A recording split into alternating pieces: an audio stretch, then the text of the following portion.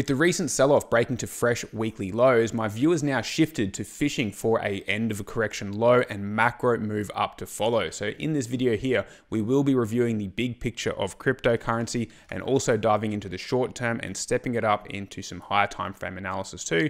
But before we dive into all of that, please remember that I'm not a financial advisor. So always do your own due diligence and research and past results are not indicative of future performance.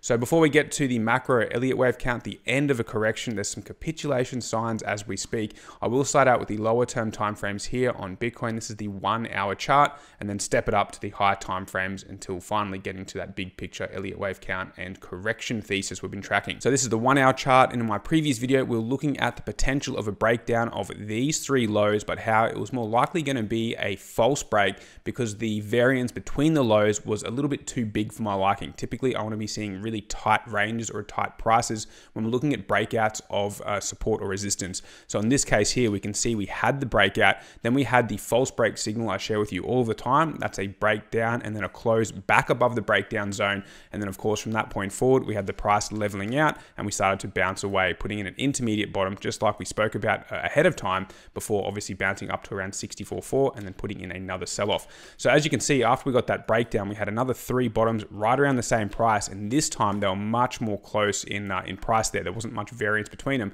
And then we got got a very genuine breakdown, falling around $2,000 in a matter of hours. You can see we had the breakdown, we had the close below, and then we had the continuation lower right down to that next pivot point. So these yellow lines are the pivot points I've been sharing with you guys for probably more than a month now, and they haven't changed, and they do act as buying and selling zones. So you can see here we hit that pivot point from the overside, and I'm always expecting buying to come into the market when pivot points are, are kind of approached from the overside. When they're approached from the underside, I'm expecting selling pressure to pick up, which as you can see here, we had selling pressure, and of course, then we had the continuation lower. Now, it doesn't mean that every single time the line is hit, we're going to be seeing buying or selling come into, into play. It's about looking out for volume to come in, then what the closes do, and then for that actual reversal to take place. So you can see in this situation here, we clearly had volume come into the market. We had the close above the pivot point, and then we started to get a reversal of the trend. Now, this is the one hour time frame. So by the time you're watching this, the price may have actually continued lower already, but it has obviously held the market up for a number of hours now. So any analysis that you're doing, it is relative to whatever time frame you are looking at. So that's really, really important to keep in mind. So for our one hour analysis here, we definitely have signs of a potential low in the making. Maybe this holds up for a day or so. Of course, time will tell. But what I really want to see on our one hour chart is to get back above the breakdown zone. And of course, for some higher lows to retest those next pivot points overhead. So of course, that price point comes in at around $61,600. Let's see if we can get back on top of that zone. And then we'll be contending with those next levels overhead coming in at around $63,000 for round numbers.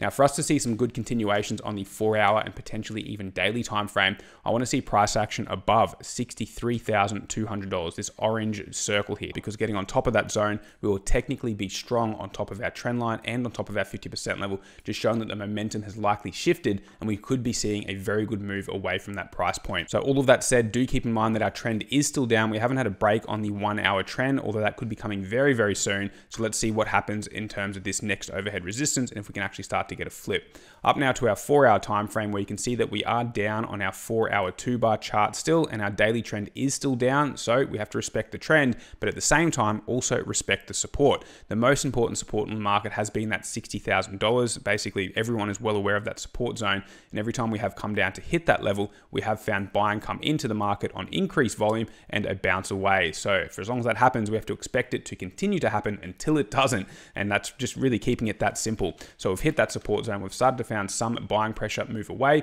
but we're still yet to see any confirmation on our lower term timeframes. And of course, we still haven't seen any trends flip just yet. So while we have support in the market, let's just see if we can get that momentum shift, which again, we haven't seen yet, but it could happen very, very soon. Now, the other pivot point I shared with you in the previous video was this trend line here and how I really wanted to see some price action above the line to give me confidence that maybe the momentum was shifting. And all we had was a headbutt against that line. There was very clear selling pressure come in, then we retested it again. And then of course, there was a pretty savage sell off of around four to $5,000 in just a matter of hours before hitting the support zone from the underside. So this level does remain to be a very important uh, pivot point here for our four hour chart, coming in at around $64.5 to $65,000, depending when we do hit it, if in fact we do uh, come back up to that price point. So do keep that one on your chart as well. So just to keep things really simple, that's the line I'm watching for my four hour time frame for us to start to see some better momentum shifts, which may translate onto the daily and weekly charts.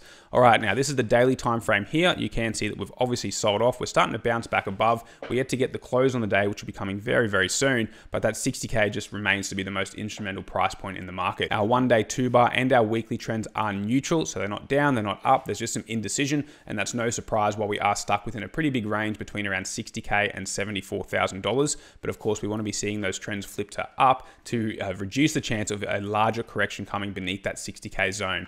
Now, of course, we're very close to 60K still, so odds are in favor of a further breakdown at some point. It is just going to be a matter of whether those trends can flip and we start to see some fast momentum away from this zone to get back on top of some of the pivot points I've been discussing. Now, because we haven't seen any extreme amount of volume and a sharp bounce away, exactly like we saw on this bar here, you can see a huge red bar, huge red volume, and then the price snapped back and continued higher. We saw something very similar on this bar here, large amount of volume, price snapped back immediately. We yet to see something similar take place yet. We have some pretty good volume here, but generally speaking, it is just declining, showing the general lack of interest, which means we have a higher chance that the price will chop around and likely even continue lower. But it's always a moving target, and if we do start to see some swings break and some momentum shift, then we just have to go with what the market is telling us. We're just looking at a broad read of the market based on what the volume has been doing and what the price action has also been doing. So as for our daily analysis, keep 60,000 bucks on your chart as one of the most important levels, and let's see if we can start to break on top of some previous breakdown zones.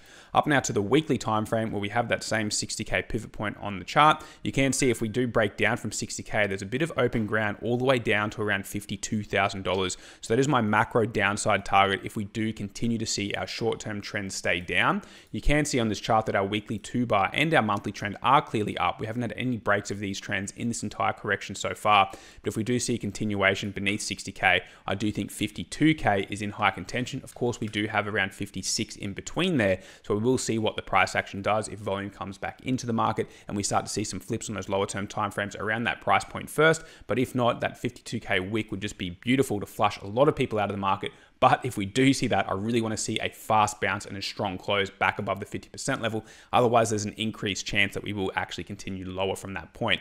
But we are still at $61,000 at the time of this video. So there's no point getting too far ahead of ourselves. We do have that support beneath the market and we still have the 50% as well. So let's just tackle this one one day at a time to see what the market action does. Now, before we take a look at the macro market structure and the Elliott wave, I just want to take a quick look at a few altcoins for you guys. You can clearly see that we are in a corrective pattern. And by corrective pattern, we are looking at a potential of an A, B, C. That's what we want to see in corrections. We don't want to be seeing too much extension in this wave here because that would increase the chance of a larger move lower. So of course that could still happen, but we are just tracking this one one day at a time, as I like to say. We do have support at 50% for Ethereum at around $2,900 with that next 50% level coming in at around $2,500. So a few downside targets to be looking out for. And what we want to be seeing for the bulls to take back control of ETH is a break back above around 3,200 where we had that breakdown zone, this orange box on the chart. And even better, of course, if we can get back on top of our trend line at 50% level, but the most immediate level overhead is 3,200 bucks, and we are still down on our daily time frame here, which we want to see a break of that trend.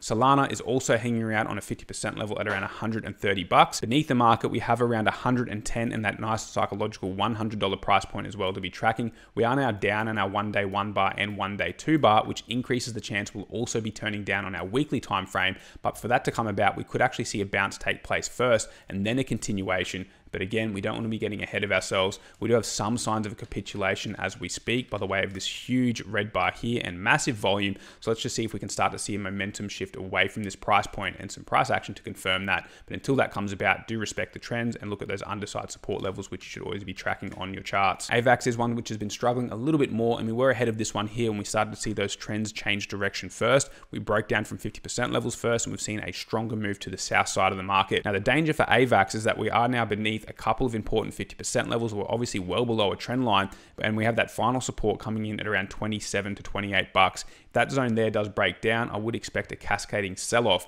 But before that comes about, we still have to respect the support. We have a bit of a capitulation on our hand. We just want to see that momentum shift away from the one day one bar and one day two bar so that we can start to get a bit of confidence that maybe buyers are stepping back into the market and we're going to be rounding off. But until that comes about, of course, those trends are clearly down. Now for a quick look at Injective, which is bucking the trend somewhat. As you can see, the one day one bar trend has turned up but we're still down on the one day two bar trend and we're stuck beneath a very important 50% level. This one comes from the current all time high down to the cycle bottom. So we are technically weak on our macro 50% level. There's an attempted change in momentum at the moment, but until we can start to see some price action above the breakdown zone of around $30, just for round numbers, I do treat anything up into that price point as just a short term pity bounce until we really start to see some solid signs of a shift in momentum. So again, this is one I'm going to be tracking really closely on the channel. There is a chance of a large period of distribution and failure to get back on top of the breakdown zone would mean we're likely going to be down for a little while longer. But again, the price action is always the king. We'll see what the trends and momentum can do in terms of the recent sell-off that we've just seen. Now for a look at our macro market structure, where I use Elliott Wave to really pinpoint where we are in the cycle, or at least increase the chance of knowing where we are.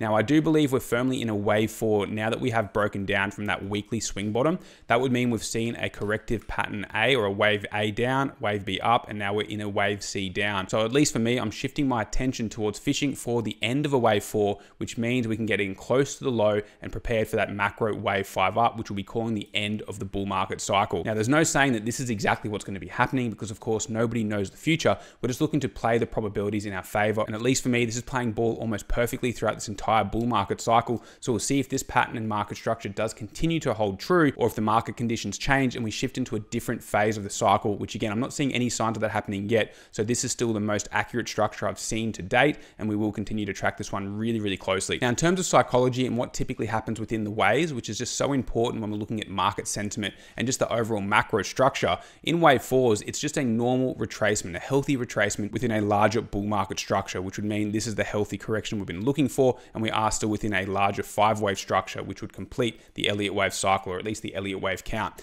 Now, what typically happens in a wave four is that most people or the masses were getting way too bullish too late in the wave three, buying right around the tops. And by the time wave four comes around, all of these people will be showing a loss on their position because they got bullish too late. And by too late, I simply mean too late in the wave three. Now, what happens in a wave five is that we start to see the low form. All the people that were way too late here just held on to their losing position and then eventually they start to show a profit on the position they bought at the end of wave three. And what this leads to is a mass amount of greed as all of these people think they're a genius now and they start to go in heavier and heavier towards the end of the cycle until ultimately putting in too much money too late, which means any slight correction from that point forward puts everything they've bought into a massive losing position because again, they've went in too hard too late after thinking they were geniuses for holding a winning position or at least letting this position turn into a winning position once we broke to fresh highs. Now, what that leads to is again, overconfidence, people buying too much too late, and they end up holding onto that position again throughout the entire bear market cycle until they eventually capitulate at the lows. It happens every single time to do with fear and greed, and I suspect this time is going to be exactly the same. So, at least for now, we have to just wait and see if we are going to be getting a wave four, wherever that comes about. It doesn't mean it has to come about now. We could continue to bleed out for a little while before we actually do reverse. But in terms of the overall market structure and sentiment, I still believe this is most likely what's going to be happening in the bull market and where we currently sit, at least for the time being. So, until our short term trends start to flip, because they are still clearly down and we're at risk of going lower, I will be tracking the macro market structure really, really closely. And of course, keeping up to date with those short term changes of trend, those flips and dips and everything in between. But that's all I've got for you in today's market update. If you don't want more from us in TIA crypto, hit that link at the top of the video description. That's it from me. Wishing you more health, wealth, and happiness. And until next time, I'll catch you then.